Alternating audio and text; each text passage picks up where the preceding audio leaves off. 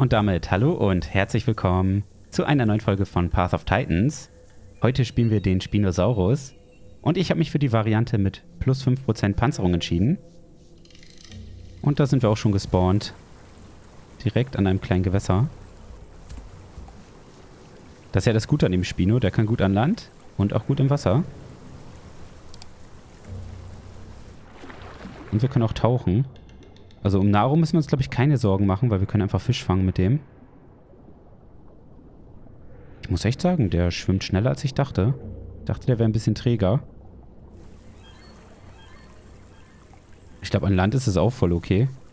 Ist halt wahrscheinlich so schnell wie ein T-Rex ungefähr.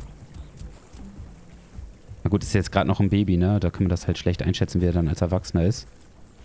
Aber fühlt sich jetzt erstmal gar nicht so unbeweglich an, wie ich dachte. Bis jetzt fühlt er sich echt gut an. Ich habe übrigens jetzt auch schon neue Attacken gelernt. Ich kann jetzt einmal zubeißen. Ist ja so ganz normal, die Standardattacke. Dann habe ich einen Clown-Angriff.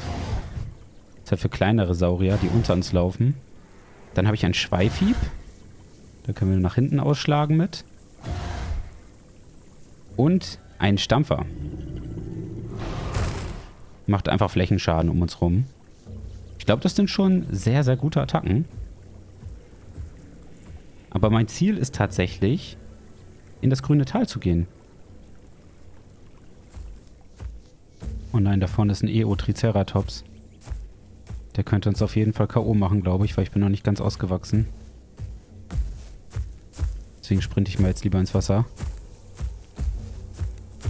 Wenn ich ganz ausgewachsen wäre, würde ich vielleicht gegen ihn kämpfen. Aber ist, glaube ich, trotzdem schwierig. Weil wenn man den von vorne bekämpft, ist halt immer nicht so gut. Der ist, glaube ich, sehr gepanzert vorne und wir eben nicht. Oh, da ist richtig was los. Weiß nicht, ob wir das zu unserem Revier hier machen können. Ah, schwierig. Aber ich gehe jetzt erstmal ins Wasser.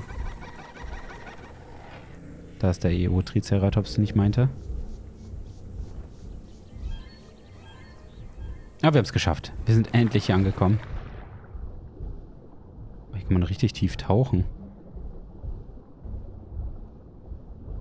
Wir müssen gleich nochmal kurz ans Land, weil wir jetzt trinken müssen unbedingt. Fressen müssen wir auch gleich eine Kleinigkeit.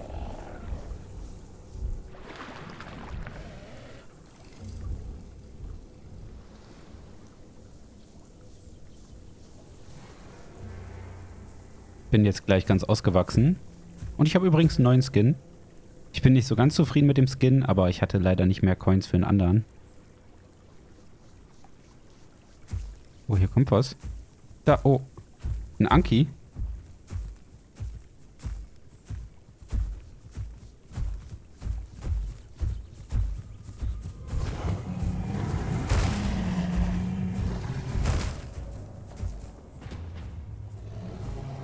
Da werden uns die Knochen brechen. Wir müssen rennen.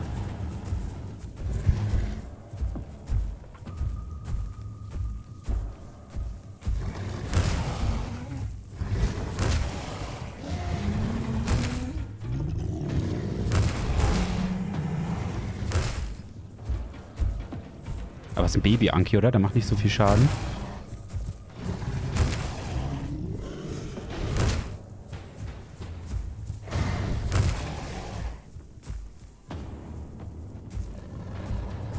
Oh, der bricht uns die Knochen jetzt. Ja, hat er geschafft. Er rennt weg.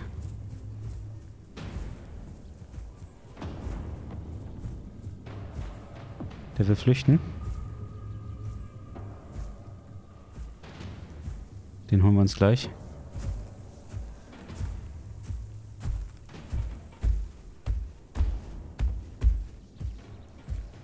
Ich glaube, da werde ich nicht hinterherkommen.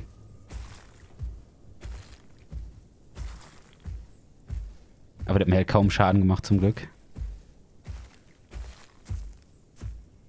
Ich habe nochmal meinen Skin gewechselt. Jetzt bin ich auch zufrieden. Den finde ich viel, viel besser. Aber leider habe ich jetzt noch keine Spieler hier mehr getroffen. Ich bin schon wieder weg von dem zweiten See, wo ich hin wollte. Und bin weiter auf der Suche. Aber keine Ahnung, manchmal ist hier echt tote Hose überall. Außer halt an diesen Hotspots.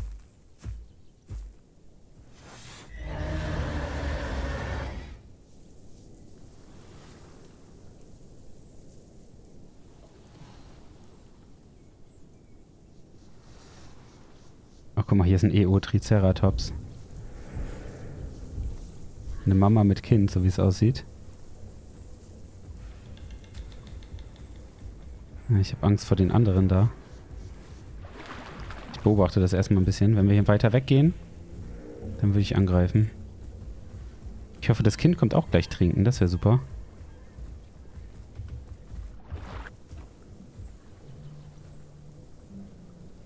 Es hat nur die Mama, die die ganze Zeit trinkt. Die anderen sind sehr weit weg gerade. Ich weiß halt nicht, wie man am besten angreift mit dem, weil man hat ja keinen aufladbaren Biss, mit dem man rauschargen kann. Ich überlege halt gerade, ob ich einfach rausschwimme und dann den Stampfer mache, um beide zu treffen. Oder soll ich beißen? Ich weiß es nicht.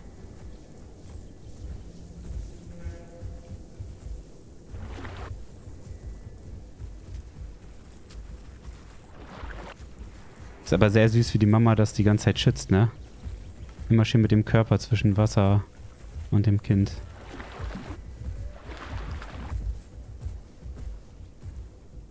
Und die werden mich halt sehen, wenn ich auftauche, weil mein Segel so groß ist. Also, die haben auf jeden Fall ein bisschen Zeit zu reagieren. Nicht so ein Überraschungsangriff wie beim Croc.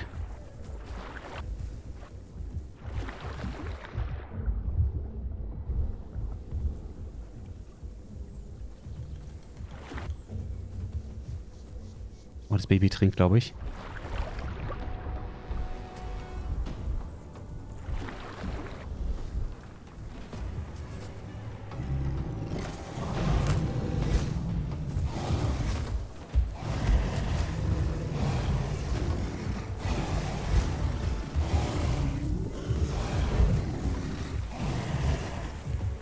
Okay, hat sie gut beschützt, das Baby. Gut gemacht. Mich schön weggebodyblockt.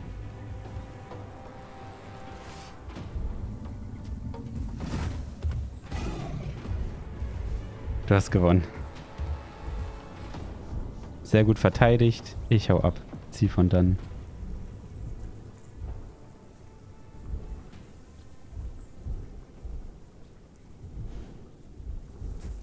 Bei Path of Titans habe ich so ein bisschen das Problem mit diesen großen, schwerfälligen Landsauriern, dass man halt nicht so viel von der Map ablaufen kann. Dadurch findet man halt keine Dinosaurier, die einzeln sind. An diesen Hotspots wie dem Krater oder das grüne Tal, da sind ja immer ganz viele, aber die groupen dann auch. Wenn ich da jetzt wen angreife, dann groupen die alle und bekämpfen mich alle. Und das ist halt auch nicht das, was ich cool finde. Also ich finde halt diese Kämpfe 1 gegen 1 oder 2 gegen 1, je nachdem, was für Saurier das halt sind, das finde ich halt wesentlich cooler. Und vielleicht werde ich gleich auch nochmal auf den Deathmatch-Server gehen und das ausprobieren. Ich weiß es nicht. Weil hier bin ich halt auch echt viel am Rumlaufen und Suchen und Rumchillen und Warten, bis dann überhaupt mal irgendeine interessante Dinosaurierbegegnung kommt. Weil dieses die ganze Zeit an einem Ort Friede, Freude, Eierkuchen ist halt irgendwie nichts für mich. Hier jetzt ein Dinosaurierkampf, das wäre was. Aber hier ist halt leider keine Menschenseele. Es gibt so viele schöne Orte auf dieser Karte, aber die sind alle unbelebt. Das ist halt echt Zufall, wenn man hier einen anderen Dino treffen sollte. Was macht der denn hier?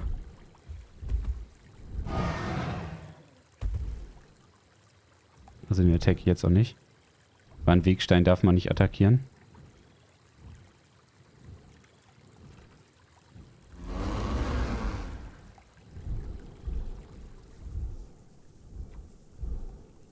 Mit den Crocs will ich mich tatsächlich nicht anlegen. Also alles, was so im Wasser ist, da will ich mich komplett raushalten. Das soll ja mein Rückzugsort bleiben. Nicht, dass ich hier mich, mir es mit allen verscherze und dann kann ich hier nicht mehr ins Wasser gehen. Das wäre ja total doof. Aber sowas da. Das würde ich angreifen.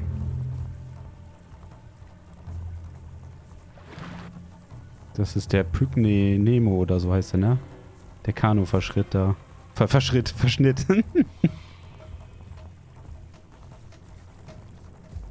Greift jetzt das Croc an? So ein Assi.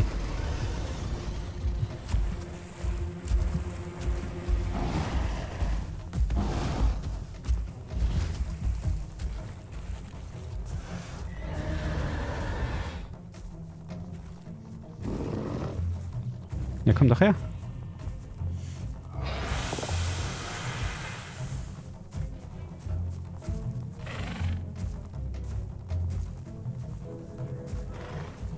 Nee, nee, nee, nee, nee. Alle wollen sich mit mir groupen hier, ist nicht.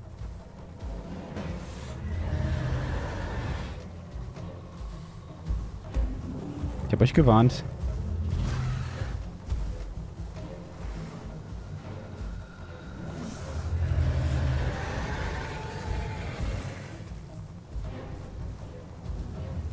Hier wird nicht getrunken.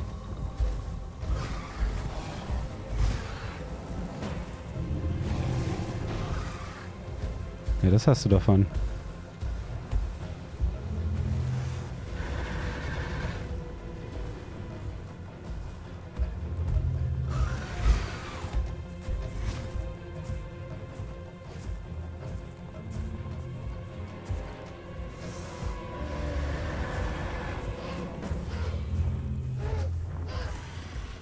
Guck mal, das Croc ist auf meiner Seite. Siehst du, wir Wasserbewohner müssen zusammenhalten. Ich bleib einfach mal bei dem anderen Spinos hier. Ich glaube, das ist ganz cool. Ich glaube nicht, dass die mich hier tacken, oder? Ich hoffe es einfach mal. Wir Spinos müssen zusammenhalten.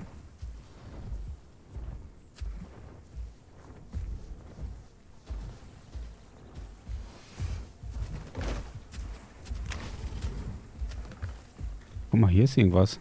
Im Busch. Ach, Megalania, okay. Den greife ich mal nicht an. Ach, mit Baby. Guck mal. Ach, ist das süß. Wieso sehen wir heute so viele Eltern mit Baby? Das ist ja super niedlich.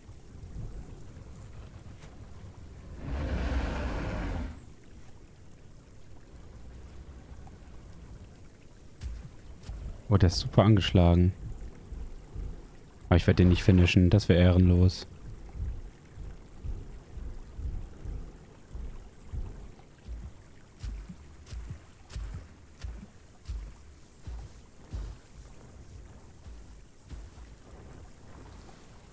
Ich glaube, der hat gegen die gekämpft da vorne. Kann das sein? Oha, der blöde Vogel greift ihn an. Ich kann ihm da, glaube ich, auch nicht groß helfen. Guck mal, der kommt auch. Wie frech.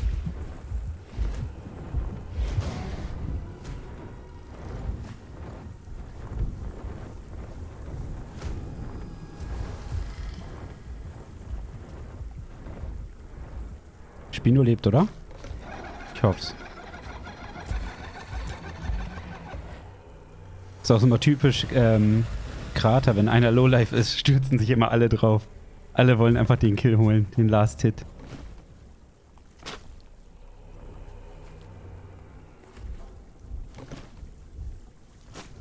Da ist der Spino, der Lowlife ist.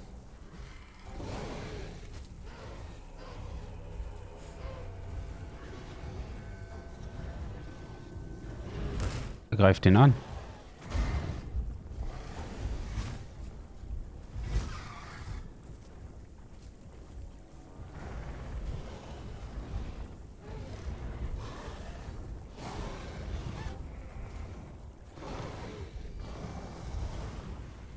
Ja, jetzt geht hier, glaube ich, richtig die Party ab.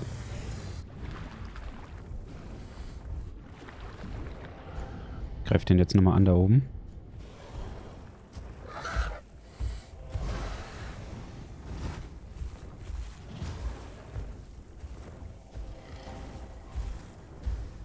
Ah, lauf gegen die Klippen in Panik, das wäre schön.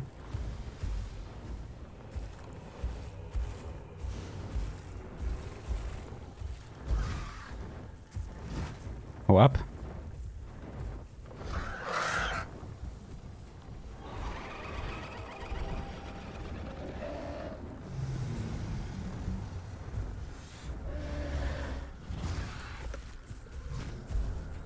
Ja, der braucht unbedingt Food, glaube ich.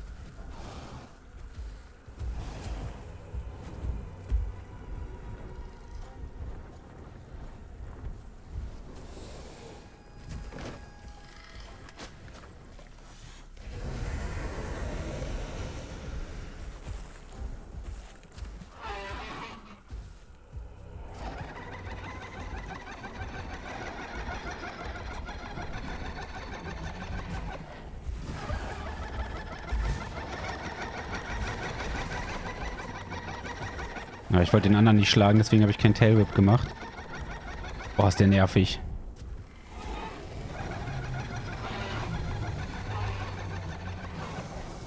Oh, ist das laut. Drei Schnatterliesen da oben.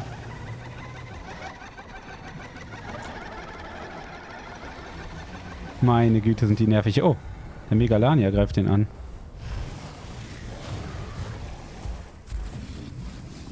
Nein, er ist down.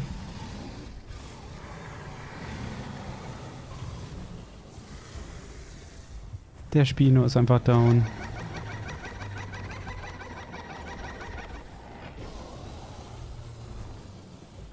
Aber der Sucher ist auch jetzt so angeschlagen, so doll. Holy moly, was da passiert?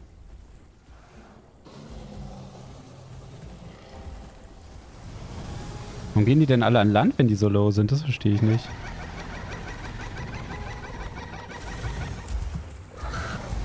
Oh mein Gott, er hat ihn.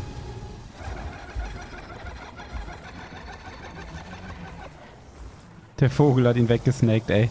Die Schnatterliese. Ja, ich muss mal Ausdauer tanken ein bisschen.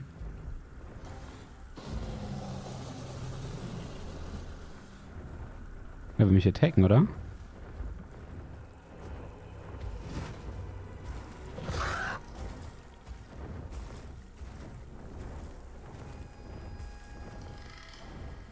Er will noch mehr fressen.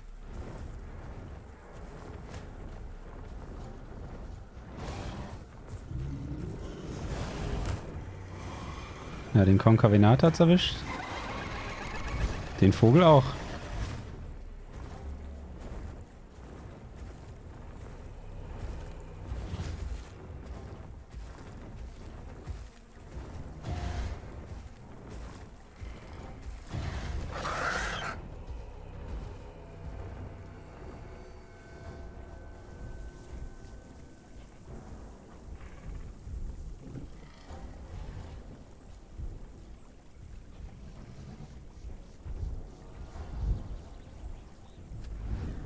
Oh, ich werde angegriffen.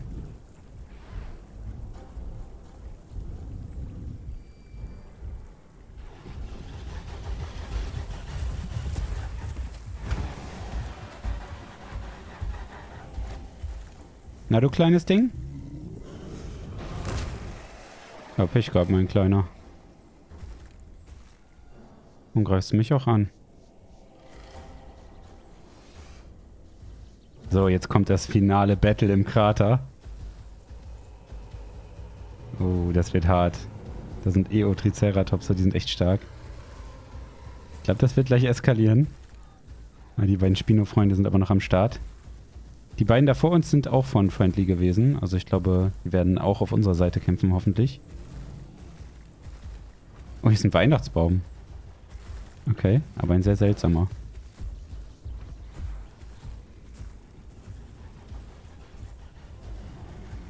Ich glaube, wir werden gleich angegriffen.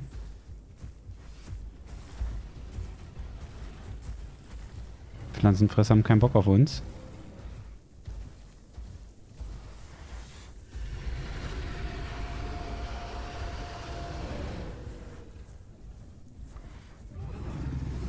Oh oh. Das sind sehr, sehr viele. Er charged auf mich.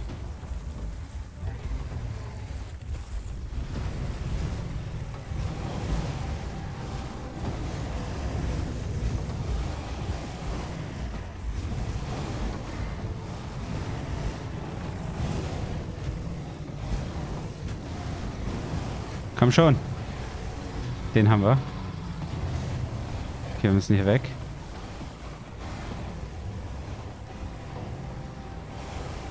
Kann nicht mehr. Ah, oh, Mist.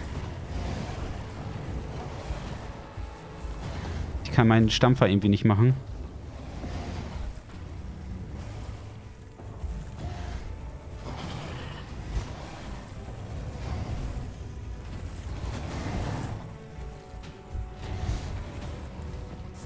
Jetzt kann ich den Stampfer machen.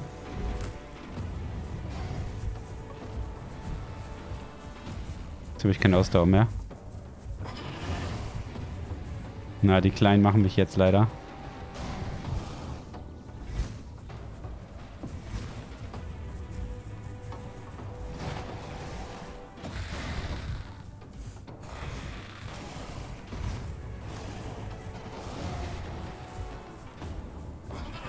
Ja, okay.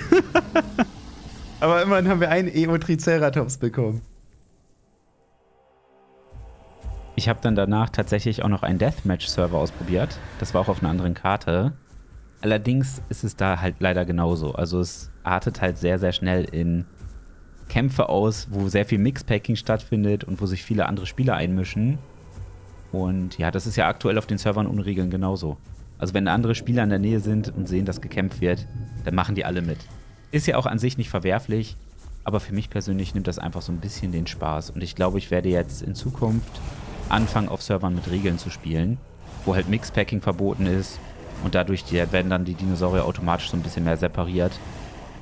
Und ich denke, dann haben wir auch mal ein bisschen fairere und coolere Kämpfe. Weil ich bin jetzt zum Beispiel für das Spino-Video echt viel über die Karte gewandert und ich habe einfach keine anderen Dinosaurier irgendwo gefunden. Halt nur an diesen Hotspots wie dieses äh, grüne Tal oder bei der Kraterwiese. Und da ist es dann halt immer so, dass sich so viele Leute einmischen und dieses, diese Massenkämpfe, die genieße ich irgendwie nicht so. Ich finde halt immer diese Begegnung, wenn ich zum Beispiel irgendwie auf den grünen Hügeln oder so bin und da kommt mir ein T-Rex entgegen und ich kämpfe dann eins gegen eins gegen den. Das finde ich immer richtig spannend. Aber diese Massenkämpfe irgendwie, das, das packt mich einfach nicht. Also schreibt gerne nochmal Serverempfehlungen in die Kommentare. Ich werde dann beim nächsten Mal, wenn ich Path of Titan spiele, mir auf jeden Fall andere Server angucken. Für mich ist tatsächlich aber wichtig, dass das nicht zu komplizierte Regeln sind. Also wenn man da eine Million Regeln beachten muss, das, das ist mir einfach zu anstrengend zum Zocken, so mal für zwischendurch.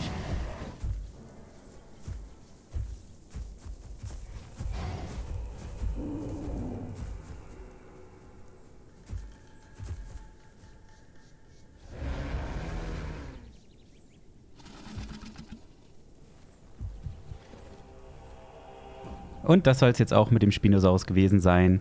Ich hoffe, es hat euch gefallen. Falls ja, würde ich mich selber ein Like freuen. Schreibt gerne in die Kommentare, welchen Dinosaurier ihr als nächstes sehen wollt. Und jetzt wünsche ich euch noch einen schönen Tag. Macht's gut, haut rein. Euer Dandy.